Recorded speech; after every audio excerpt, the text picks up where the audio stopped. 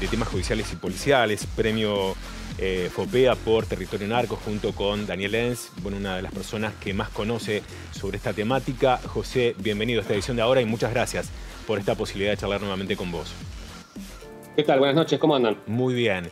Eh, si te parece, vamos a hablar eh, de Petaco Barrientos. ¿Quién era? Recién lo, lo describíamos en aspectos judiciales, pero se habla de una persona obviamente odiada por el manejo violento en la que llevaba sus delitos, nunca fue condenado por temas de narcotráfico, pero se habla obviamente y se sabe de los movimientos dentro del narcotráfico, pero también a la vez amada por un sector de un barrio de Paraná.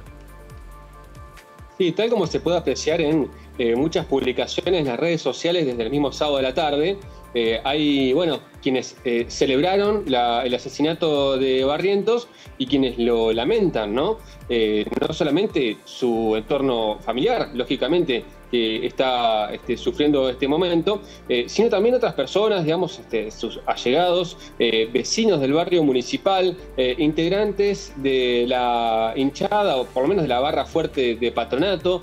y bueno, una persona que ha dividido aguas en ese sentido por eh, hechos eh, criminales este, muy graves eh, y, bueno, por quienes piensan, digamos, o se sienten que fueron de alguna manera ayudados por Barrientos durante los últimos 15 años, podríamos estar este, diciendo, ¿no? Lo que yo creo sin duda es que Barrientos marcó eh, un antes y un después eh, eh, en, una, en una forma, digamos, de manejar este, territorios, de manejarse en un, ambiente, un ambiente este, delictivo, siempre vinculado a lo que es el comercio de drogas, donde, bueno, obtenía su principal fuente de, de financiamientos, pese a que la justicia federal nunca le eh, logró demostrar, digamos, que eh, él cometía ese, delito de venta de drogas, pero bueno, es lo que eh, todo el mundo, y por, bueno, lo que hoy está como principal trasfondo de, su asesinato, este, pero, pero bueno, decía eso, digamos, que marcó, digamos, fue uno de los principales, o primeros, mejor dicho, personajes de este ambiente de Paraná, en el cual, bueno, muchas personas se referenciaban en él, lo eh, le reconocían este, cierta especie de ayuda este, social, eh, una Como lo hacen los narcos. De, viejo gángster, digamos, este, territorial de, la ciudad, en el cual, bueno, eh, marcaba una especie de orden y de reglas en el barrio que tenía su contracara, ¿no? De mucha violencia muchos hechos sangrientos que ocurrieron también en aquella época eh, y, que, que, bueno, marcaron por eso, digamos, este, su, larga estadía eh, en prisión que terminaba ahora a fin de año. José, eh, es el primer ataque, obviamente certero, quitándole la vida, ¿fue el primer ataque que recibió en su historia criminal o hubo otros ataques anteriores? Mira, en el año 2010, eh, tengo entendido, creo que era 2010, no sé si 2009, pero creo que era 2010, cuando él estaba con las salidas em, eh, sociofamiliares también eh, de la primera condena que cumplió por el asalto al comercio en calle más Fuerte. Eh, él estaba llegando a su casa del barrio municipal y lo atacaron a tiros. Eh, por ese hecho estuvo grave en la sanatorio de la Enterriana un tiempo y sobrevivió a esa, a esa agresión. Una agresión que estuvo en, digamos, como trasfondo también la interna, fundamentalmente con el anterior jefe de la barra de patronato que fue señalado como eh, el autor de, ese ataque que recibió Barrientos en el año 2010. Em, que, bueno, eh, luego de ese hecho incluso hubo represalias de parte del entorno de Barrientos para eh, con este, este, hombre Muñoz este, y, sus, y sus allegados que aparentemente después de ese momento se fueron de Paraná. ese es el primer antecedente. Después tuvo inconvenientes en la cárcel también, donde fue herido, tuvo un problema en un pulmón, incluso por una eh, agresión que sufrió en la, unidad penal. Eh, pero bueno, en los últimos años, hay que decir, digamos, eh, estaba con beneficio de salidas sociofamiliares que le había otorgado la jueza de ejecución Cecilia Bertora, porque justamente se había observado en los últimos años un cambio en su comportamiento en el cumplimiento de la pena.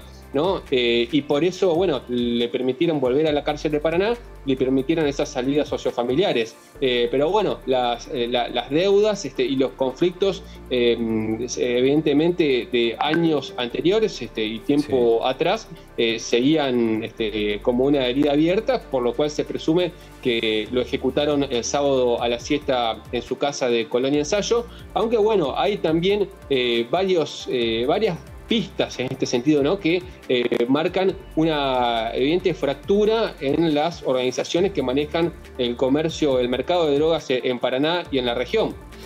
algunos, sí, Algunos, algunos dicen que detrás de este crimen podría haber bandas narcos de Rosario de Santa Fe.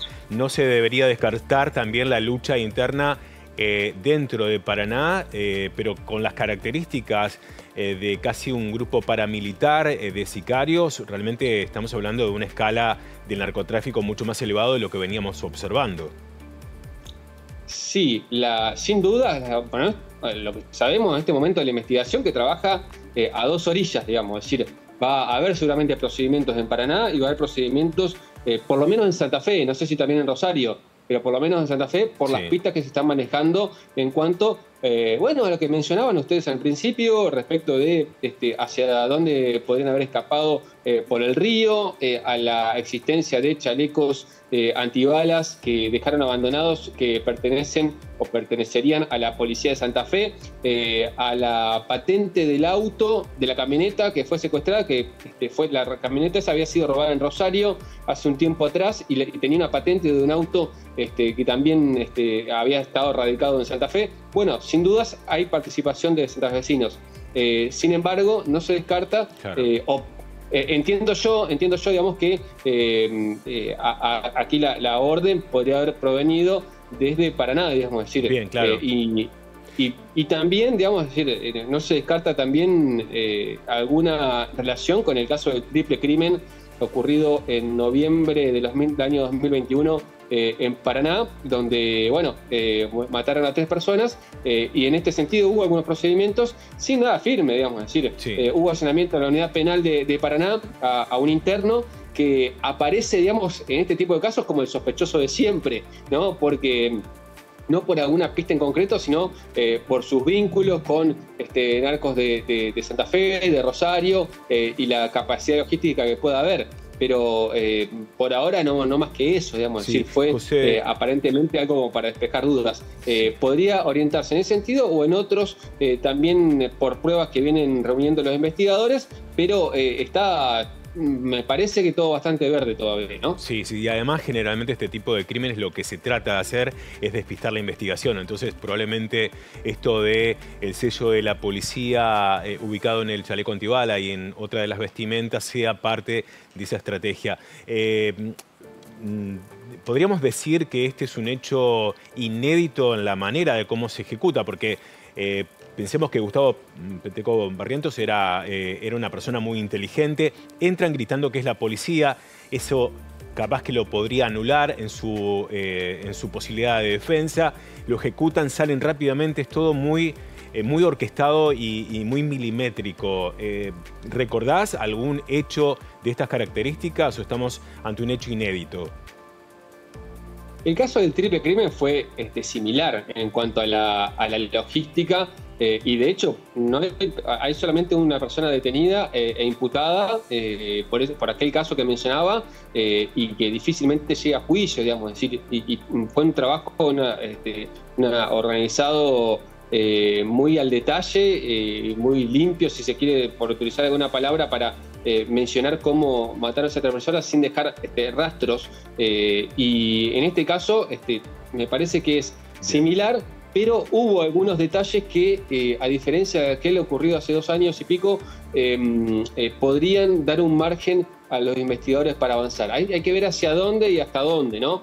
Eh, por un lado. Después recordemos, también a fines este, del año 2020 estuvo en Concordia el asesinato del empresario tabacalero eh, Molina, que fue asesinado en una quinta suya ahí en el departamento Concordia, también por dos sicarios, hecho que no tiene ninguna persona ni siquiera sospechada de haber cometido eh, ese caso de sicariato, ¿no?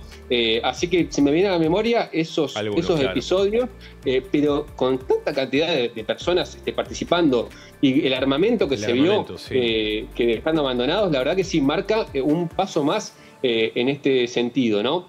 Eh, y, bueno, también llama la atención lo desprotegido que se encontraba este Barrientos, lo confiado que quizás estaba en que no le podía pasar esto, ¿no?